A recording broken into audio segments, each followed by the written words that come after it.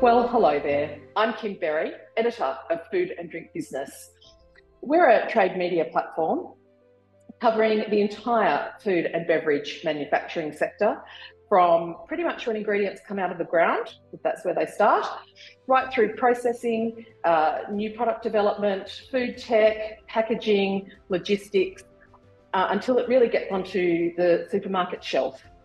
But we also look to other markets, as in export.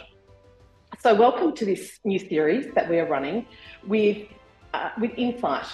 It's an export development agency that really specialises in Southeast Asia, which is where so many companies that uh, we talk to are looking to expand.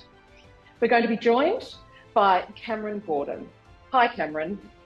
Hi, Kim. How are you doing today? Very well, very well. Good. Okay. Uh, yeah. So uh, onwards with what you were talking about. Um, yeah, Incite is an export development agency. Um, we typically work with uh, brands that have a, achieved a level of success in their home market. Uh, most of our clients either come from Australia, New Zealand, or the United Kingdom.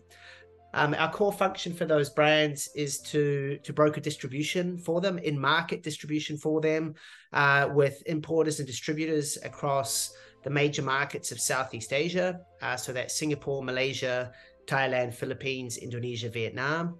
Uh, and then in the north, Hong Kong, Taiwan, and South Korea. So we really have two functions. One is to broker the distribution, and the second piece is uh, is really helping them to to, to, to stay in the market and then to grow their distribution and their sales.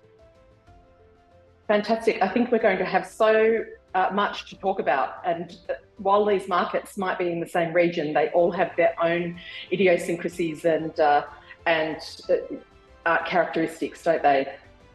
They certainly do. So, yeah, look, from our perspective, uh, really happy to be working with you on this, Kim, and hopefully we can uh, we can provide some some insights from in, in the market on the ground, what we're seeing that will be beneficial um, to to to you and and your readers. Fantastic.